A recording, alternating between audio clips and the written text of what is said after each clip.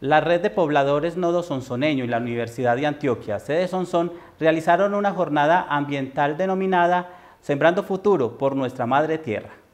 Durante esta jornada se realizó la siembra de varias especies de árboles nativos con el propósito de proteger las fuentes hídricas de la ruta que lleva hacia el Cerro El Capiro. La meta ha sido sembrar entre 300 y 350 árboles nativos.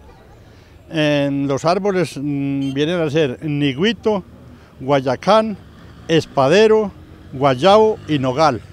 Y pues pretendemos que esta es como una primera etapa para motivar a la gente, para que nos dediquemos a, favorecer los, nacimientos de agua, porque hay que pensar hay que pensar en el mañana, porque aún pues uno ya le falta poquito para irse de este planeta,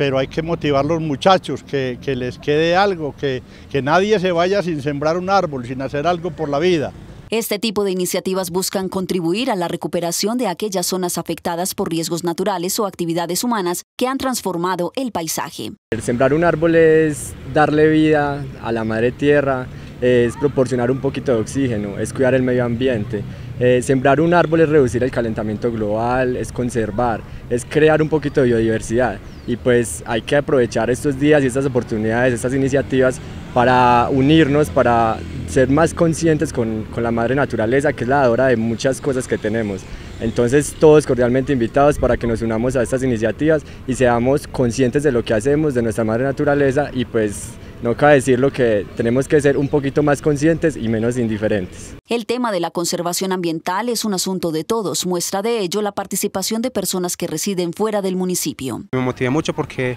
soy una apasionada, digamos, por la naturaleza y como he vivido toda mi vida en la ciudad, sé qué es lo que falta y pues toda la contaminación que se sufre, entonces todo lo que nosotros podamos como aportar para devolverle todo lo que le hemos robado a la tierra va a ser como bienvenido y aquí estoy para eso. Yo le quiero hacer como una invitación